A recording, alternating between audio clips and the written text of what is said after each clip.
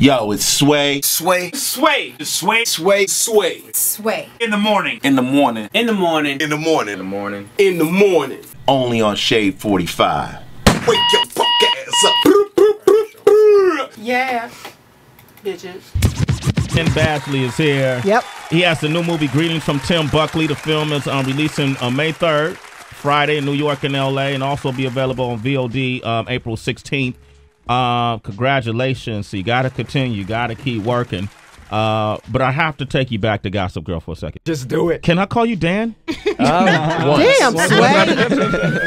yeah, as you know, Penn plays uh, Dan Humphreys, who ended up becoming the biggest villain of them all. In that last season, man, you just went dark. Your Yeah, oh, character yeah. just spazzed the hell out. Yeah. I Yeah. went dark and neon pink. Yeah, like, it, it- this was just ridiculous.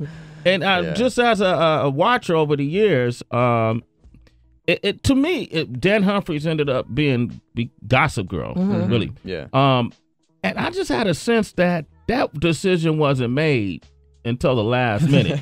the way it was You know, it. well, here's the interesting thing about that is that Stephanie told me this uh, towards the end of the season. She said that in the beginning, um, that they had to recut the pilot episode because people thought I was Gossip Girl.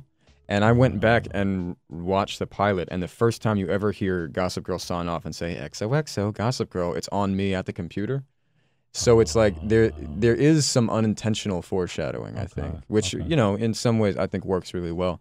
But you know the truth is, for Gossip Girl to be anyone real, it doesn't make it doesn't make actual sense. You know, I mean Dan Humphrey would have had to been like schizophrenic, bisexual, transgender, yeah, all yeah, sorts yeah, of yeah, you know yeah, all- obsessive compulsive, because he's also checking his texts and same- you know like. Oh my God! I can't believe this. You know, so he's acting to everyone the whole that- time. that- yeah. yeah, you know, by himself even so, so true, it's, man. It's it's actually really deep if you think about it, and it makes him a, a, a, a pretty pretty complex, torn up guy. yeah, man, you played that shit on point, man. Who are you in real life to be able to pull that off, man? Are you, are you anything like that in real life? Uh, You got the beard thing, and you know.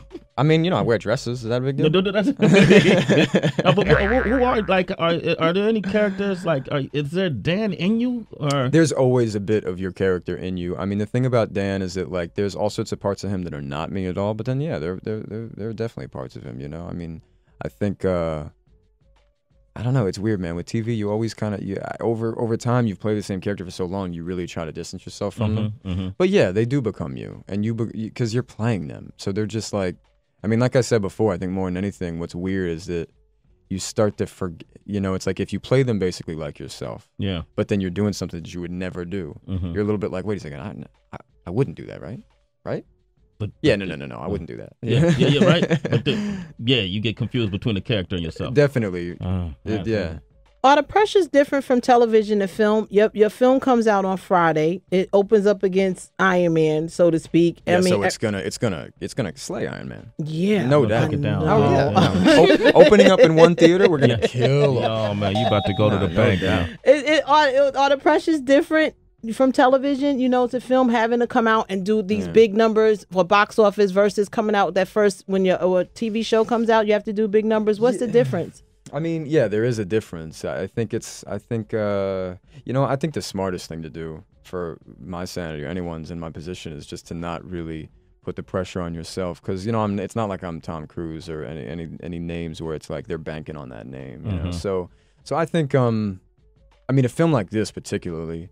I just want people to see it, whether it's online or see or see it in theaters, because it's you know for it's something that I'm proud of that that I think is kind of a beautiful film. It's a it's a weird kind of meditative, Yeah. artistic venture, you know. Whereas television is um television is like uh it's frothier, you know. It's just like it's fun and it's and you make however many hundreds of episodes, Mm-hmm. so it's just it ends up becoming less precious. So you know. It's just yeah. There's just uh, there, you can't. In some ways, you really can't compare them. Even you know. well, well greetings from Tim Buckley man you know we're talking with Penn Badgley man and you, you what what is your ethnicity where's your people where are your people from You know, I'm a I'm truly American, and then I barely know. But I'm basically Irish, Irish? Irish, Scottish, mostly. Dude, do do what I do, man. Do me a favor, but do it with your right leg. Put your put your leg up here like this, bro, if you don't mind, ready? All right. You may be the hairiest person I ever met in my life. Look at this dude's shins. My gosh. You know, it's funny though, man. Look at my arms. My arms are like but bare. Your arms, are- when you put nair on your arms, No, like you don't shave your arms, No, but your shins are hairier than my right here head. too is nice. What? What you got there? I Chest get, hair? I get a lot for the chest hair. Too. Really? Yeah, you should let. Heather braid, French Don't- braid your chest hair. I'll put a bead on it. You'll put a bead on it? Mm-hmm. Yeah, right. All right, man. Well, look, the movie is Greetings from Tim Buckley, man. Penn, thanks for coming through. Yes. Sway in the morning. Only on Shade 45.